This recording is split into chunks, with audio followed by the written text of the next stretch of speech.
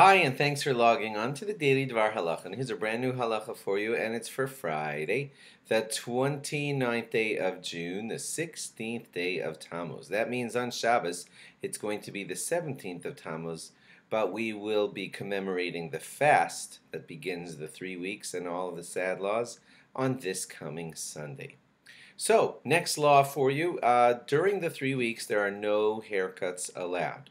Um, if a person has a mustache and the mustache has grown over his lip to the point where it gets in the way of his food, then he could just mildly trim that.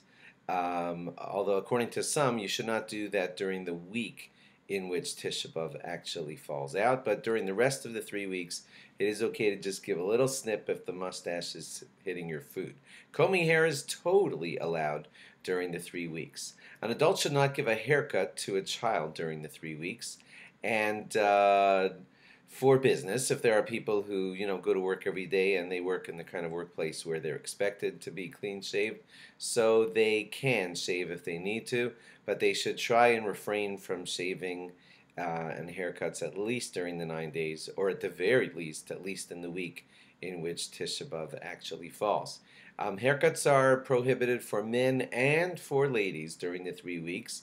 But if a lady has a little bit of hair here around the temples that uh, needs to, well, you know, it's sticking out from the hair covering, then that could be trimmed down um, if necessary.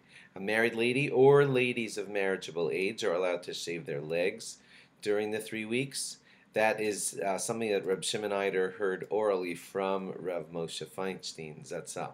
If there's a bris during the three weeks, the Mohel, that's the circumciser, the Sandik, that's the man holding the baby during the bris, and the father of the baby boy are all allowed to take haircuts and shaves in honor of the bris, uh, but not in the week in which Tisha B'Av falls.